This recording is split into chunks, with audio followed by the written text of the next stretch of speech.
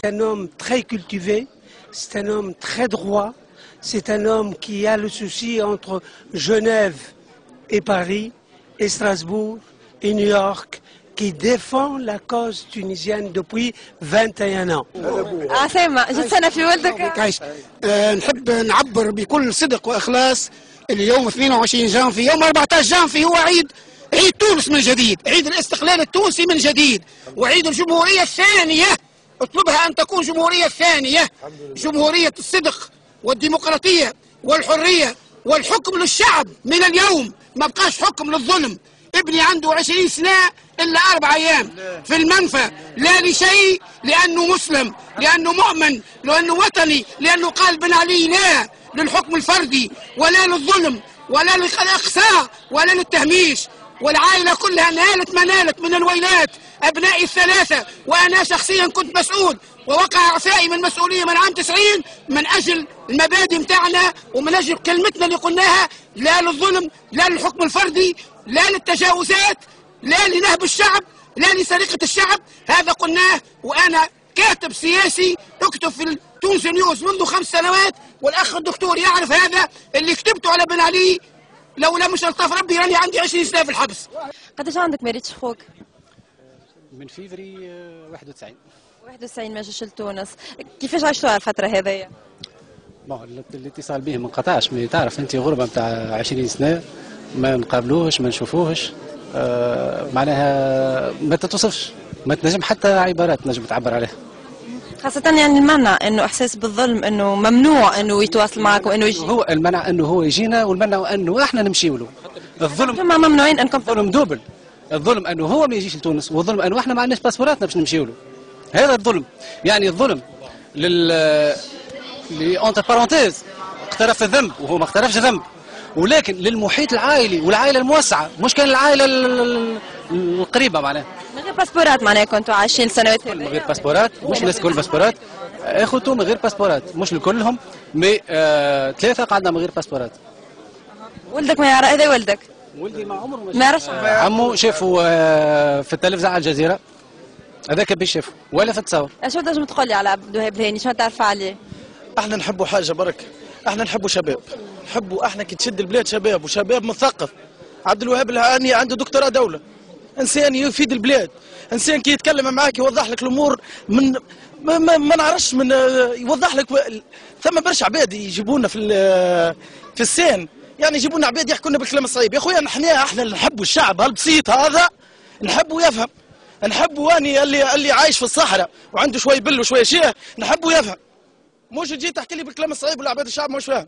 راه الثورة جابها الشعب راه. ما يرتكزش واحد حتى على حاجة راه. أنا بتنفس حرية ما تقطع عني الهوى. لا تزيد.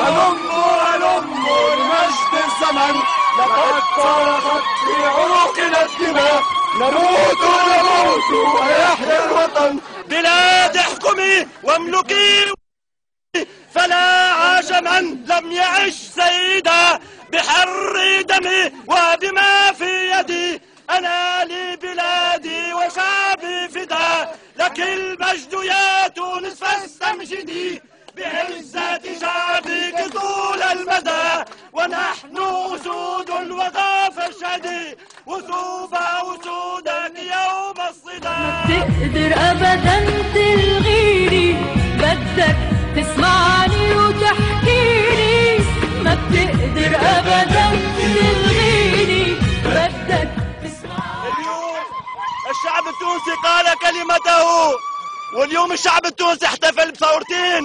الثورة الأولى ثورة 18 جانفي 52 ثورة الاستقلال. العودة اليوم العودة للوطن بعد 21 سنة شنو دورك تو في المرحلة القادمة بالنسبة ليك؟ شنو دورك مع التوانسة مع الشعب هذايا؟ دورنا إحنا عمرنا ما ما ما بعدنا على الدور. وكنا نقوم بدورنا وبواجبنا طيلة العشرين سنة مع المضطهدين مع الضحايا مع اللي تسجنوا مع اللي تشردوا. من غير حق. والدور هذايا بإذن الله باش نوصلوه. هاك الدور اللي عملناه الكل من أجل التنديد ومن أجل الضحايا. هاك المجهود هذاك الكل والطاقة الكل اليوم لازم تكون طاقة إيجابية للبناء ونبنيه الكل مع بعضنا. الكلنا نبنيو مع بعضنا. وفي المرحلة هذه إحنا في حاجة لرجال تونس ونساها الكل. ثم ناس وطنيين خلص. بما في ذلك في وسط الحزب الحاكم.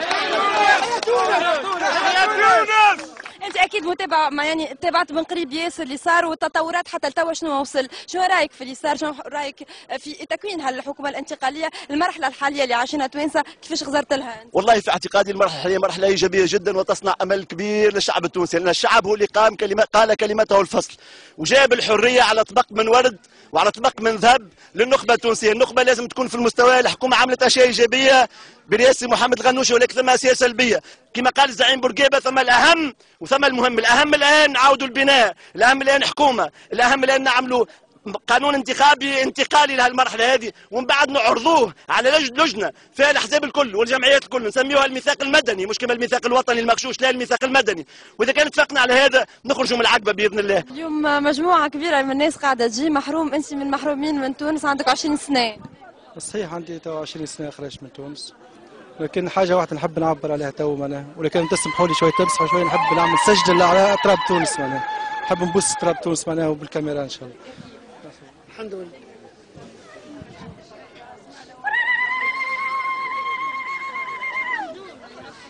الحقيقة غمة وخرجنا منها إن شاء الله. تعجز كل معاجم الدنيا على انها تعبر عن الشعور. يعني واحد داخل البلاد بعد 19 سنة تشريد يعني ومنفى ماهوش غياب فقط قصري تشريد قصري يعني أرغمنا عليه. عشنا برودة الغربة عشنا برودة العلاقات عشنا عشنا الغربة على والدينا. الوالدة الوالدة ما شفتهاش الوالد ما شفتوش يعني 19 سنة كاملة. فبعدين تشوف حقيقة أنا ما عندي حتى كلمة إلا أنه يحيى الشعب. يعني مخلطة. فهمتي؟ فما أمل في العودة فما يأس من العودة فما فرحة فما حزن فما كل شيء. أكثر حاجة أثرت فيا هو أن أمي توفت في غياب.